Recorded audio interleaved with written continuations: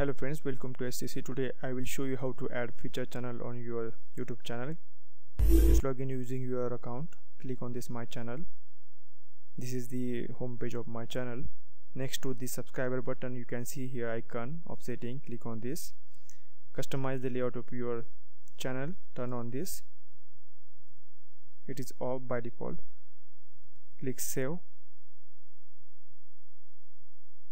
Now here you can see we have now feature channel option. Click on this add channels.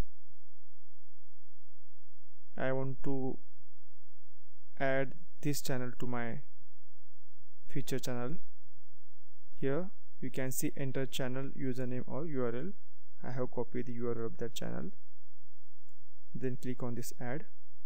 Now you can see this channel is added as a feature channel. Click done. See here I have now Code Tech Club as a feature channel in my YouTube channel account. Thank you for watching my video. Please watch my other videos too. And don't forget to like, share, subscribe for more videos.